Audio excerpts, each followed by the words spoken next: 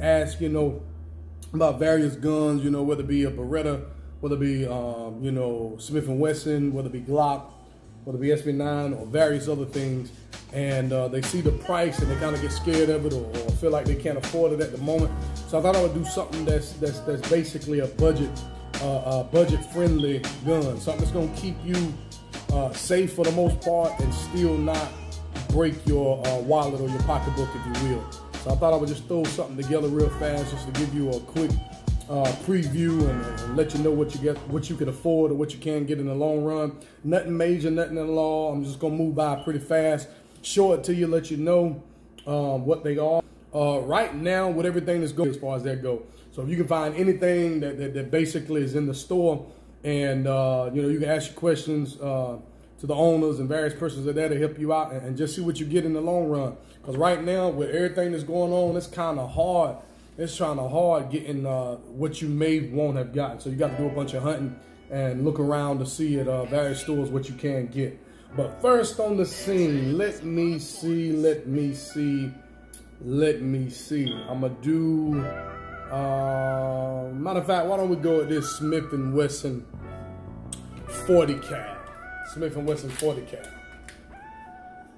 Smith & Wesson 40 cal. It's SD9 VE. She's uh, black, got a little chrome on it. It's nice smooth gun. It's chambered in nine millimeter. You know what I'm saying? Smith & Wesson SVE. Love this. Love this right here. Uh, had this for some time. I had the 40 cal. That's why I said 40 cal a few moments ago. But I had the matching 40 cal to go with this with a laser on it uh, but I sold it some time ago. I think I'm gonna try to buy it back just to, uh, or purchase one just like it, just to uh, have a matching set. This is the Smith & Wesson SBE 9. Uh, this is a budget-friendly and reliable gun because you know anything about Smith & Wesson. Smith & Wesson are, you know, they're good. They're good, reliable guns. You can shoot it. She's good to go. Uh, I hadn't have any uh, jams on it no kind of malfunctions on it whatsoever. Put you know, a bunch of rounds through it, and she still was all right. Got regular sights on the top, nothing major, no night sights. Um, it comes with, you know, of course, everything normally comes with two mags. It's 15 shots. Put one in the chamber, that's 16 total. And this gun will probably run you. Now, this is not the pandemic uh, numbers. Uh, this is basically what I paid for it at the time, some years back. So it probably ran me about, I don't know, 260, 270 something of that nature like that, um, you shouldn't pay. Well, depending upon what's going on there, you might pay a little bit more. Uh, supply and demand. That's that's how that works right there. But overall, it's about 270. You know what I'm saying? Some change, three and some change, no more, no less. But this is a good weapon. Good weapon. Nice. You know what I'm saying? Nice, reliable. Let me stop and pause for you. For those that are just now getting involved with guns and, and, and you're buying guns, you're purchasing guns, etc., etc., and you see this right here, I don't know if it'll focus in real well. There you go. That's where you want to put your finger, your pointing finger. You never want to put your finger on the trigger unless you are intending to shoot it. So for those that are just now, I probably end up doing uh, uh, doing a video or vlog about um, what I should do or what you should do if you want to purchase a firearm, if this is your first time ever holding a firearm, etc., etc., then you know I'm going to suggest you to go ahead and go to the store, get you a play gun, and you work on your safety. Uh, break that habit because I know in our neighborhood and our community, for those that had had guns like that, we normally always kept our finger on the trigger. And that's how you have misfires, that's how you have accidents, the whole nine yards. So you want to take your time and put your finger right here and practice practice placing your finger right there. And uh, with this particular gun, even if you're left-handed and ambidextrous, you are able to put your finger right there on that side as well. So left or right, this gun provides you with the ability to put your finger and allow it to rest there. Because again, you never pull your finger on the trigger until it's time to shoot. So if you don't practice that on a regular basis, you can end up hurting yourself or hurting somebody else. So this is just a Smith & Wesson SD9 VE.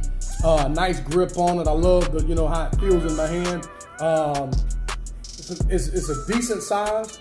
You know what I'm saying? You can still conceal carry it.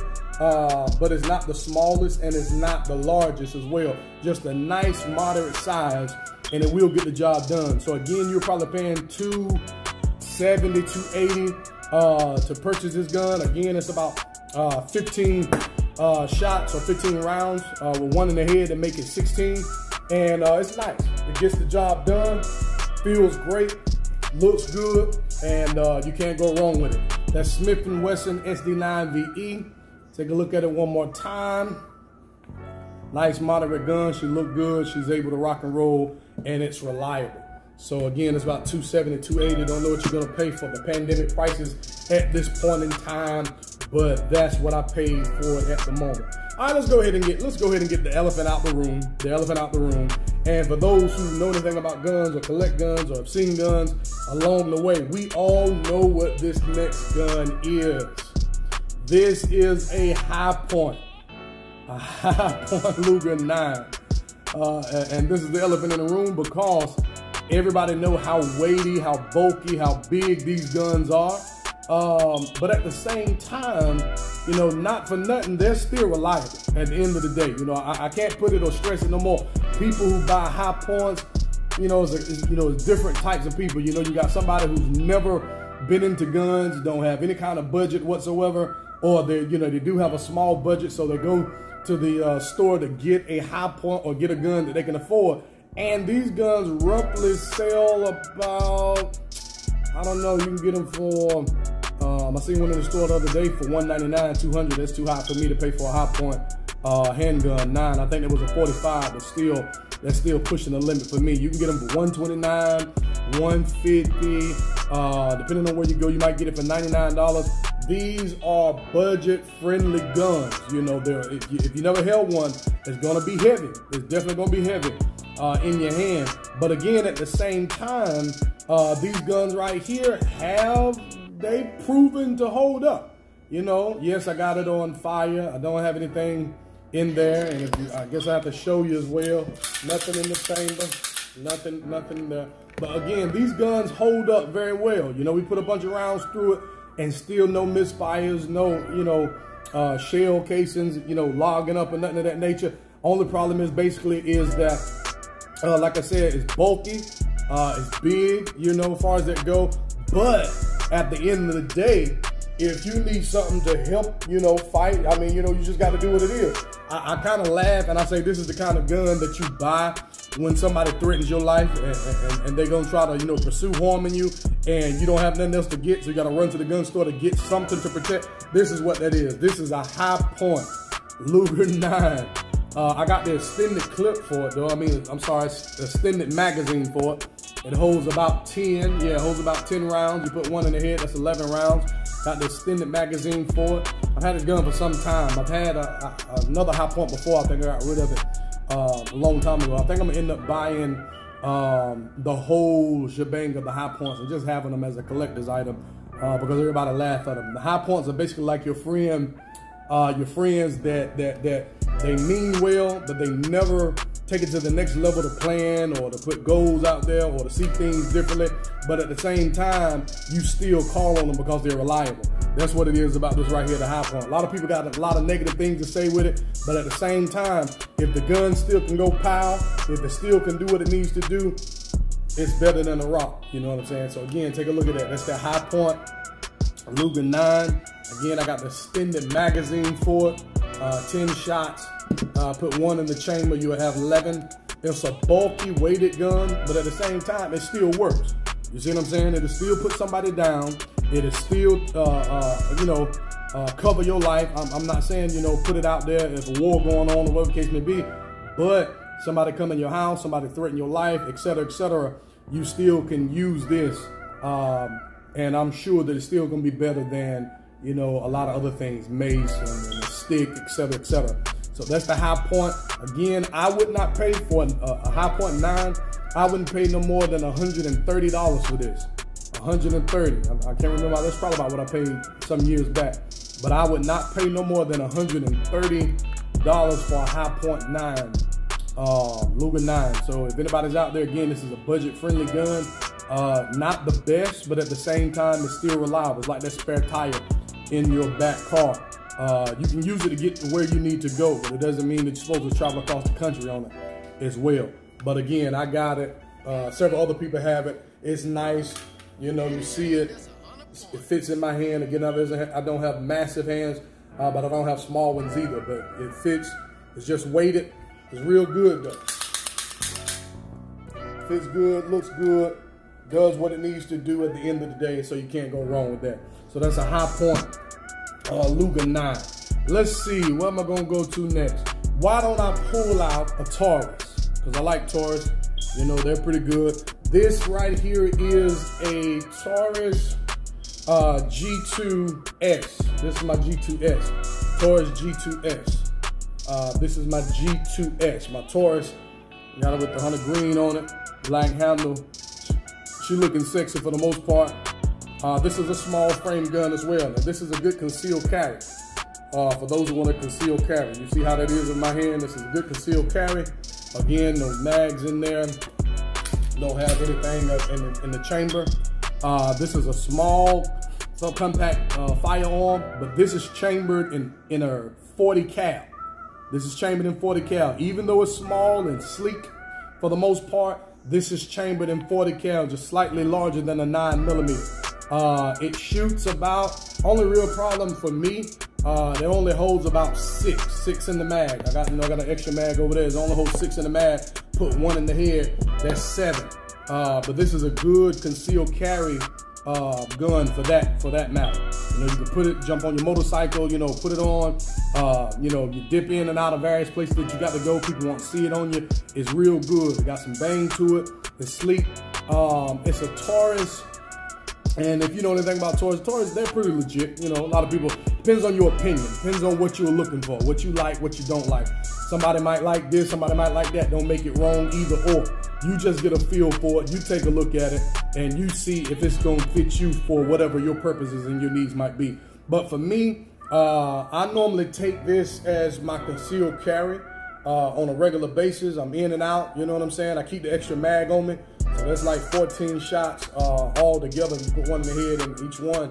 And uh, I, I, love it. Again, this is where my finger rests at. Again, if you have the, your, your firearm, you want to consistently uh, practice your finger control so that you will not put it on the trigger and that you will break that habit of putting your finger on the trigger and that way you will not uh, shoot somebody or possibly harm yourself in the long run.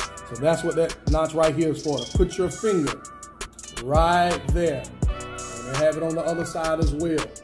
Be able to rest your finger there whenever you're not using it or shooting it. Uh, that's where you want to keep it at. So this is the 40 cal. This is the Taurus uh, G2S. I want to say, and this is, is chambered in 40 cal, I want to say I paid probably about two and some change for this uh, at the gun store. Came with you know extra mags, the whole nine yards. I want to say I paid about 200 and something for this gun as well. But it's a nice, sleek look. Um, concealed carry weapon is good, you know, even for if you have your wife or girlfriend or whomever that is just coming upon the scene and, and, and they want to use a firearm. This is a good firearm to get them uh, for yourself as well. You know, you can't go wrong whether you're male or female. This is a good little firearm to, to start you off with. It has a thumb safety right here. It has a thumb safety right here.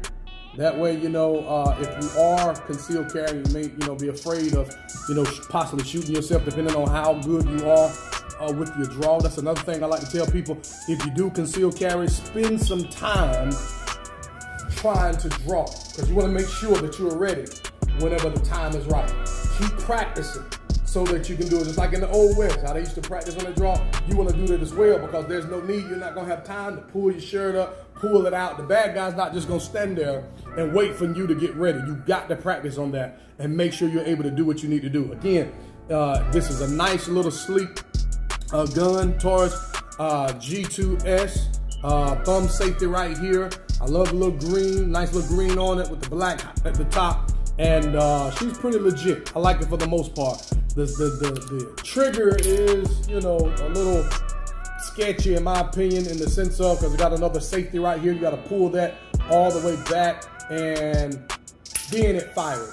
But if you're not practicing with it, whenever you pull it all the way back and you're waiting for it to fire, it can mess your aim up. And that's, I guess, one of the bad things about it. Of course, you can switch it out, but Um, just know that before you purchase it. Uh, and again, just like with any gun that you're gonna get, period, you're gonna take it to the range, take it behind the house, whatever case may be, and you're gonna learn how to shoot with it so that you can be uh, ready for anything that pops off. So again, this is the Taurus G2S chambered in 40 cal and uh, got seven shots, six in the mag, one in the head, and this is a nice concealed uh, weapon and it'll get you where you need to be. Also, boom, boom, boom, boom, boom, boom, boom, boom, boom. Um, I'm gonna hold that. No, matter of fact, let's go ahead and pull it out now.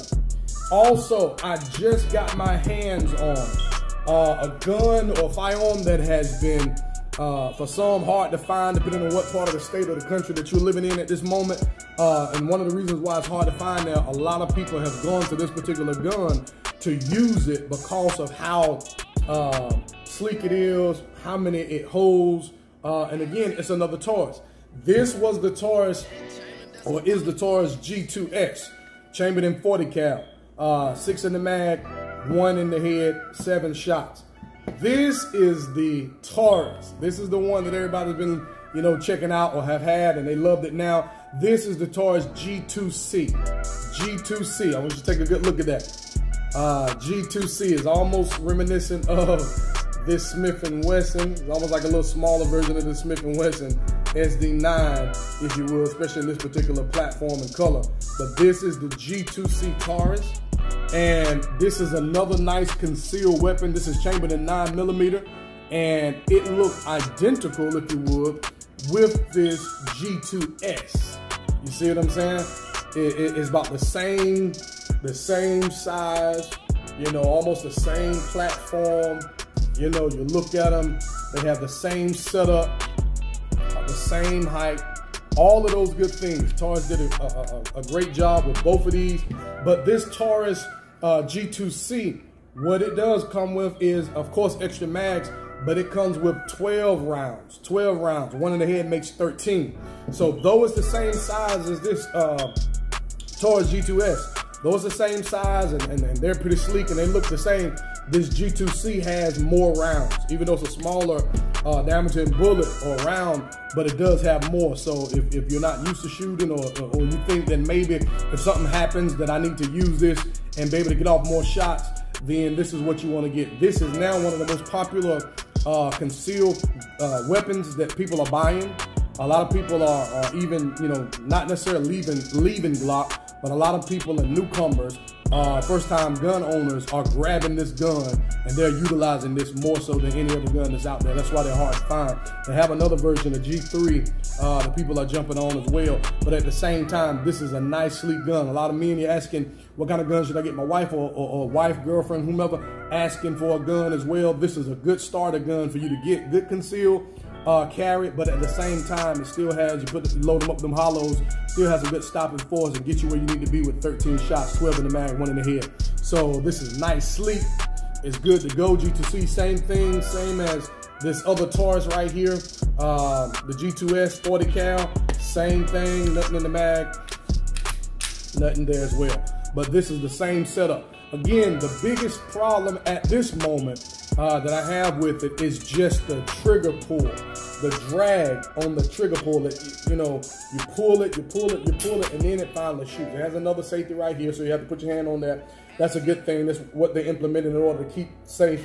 But at the same time, you gotta pull uh, a little while before it goes off. So if you're not steady, if you're not concentrating, if you hadn't practiced enough, once you keep pulling it back, if you're not ready, it's gonna mess your aim up. So again, make sure you go to the range, take it outside of your house, wherever uh, you're at um, that's feasible for you to shoot guns, and use that so that you can get um, committed to whatever your gun is and use it accordingly and just get familiar with it. No matter what gun you have, no matter how big, how small it is, it's not going to do you any good if you're not familiar with your own firearm and not be afraid of it. It still fits pretty good finger is uh, is lagging some just because I don't have the magazine in it. But once I get the magazine in it, my hands fit well on it, even though it's a small gun. Finger resting right there. Got the sights on it, nothing major.